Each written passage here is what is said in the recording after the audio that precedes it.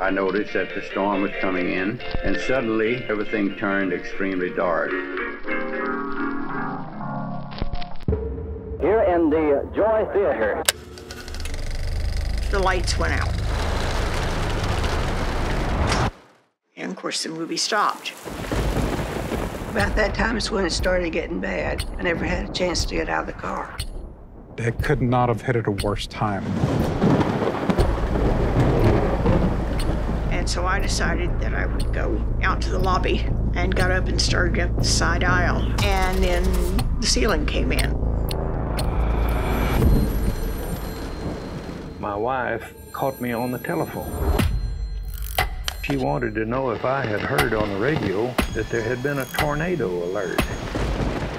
So Mother stopped as we got to the railroad tracks when the headlights would no longer penetrate the darkness. The first tornado in the history of Waco, Texas, and it had to enter the very heart of the city.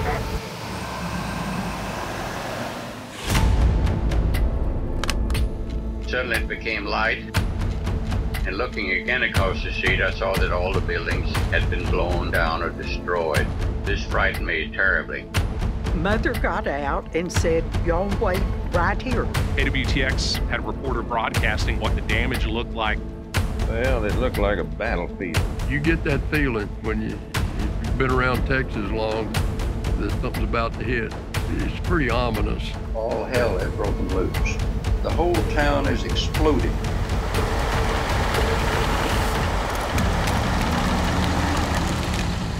Described at that time as the monster from the sky.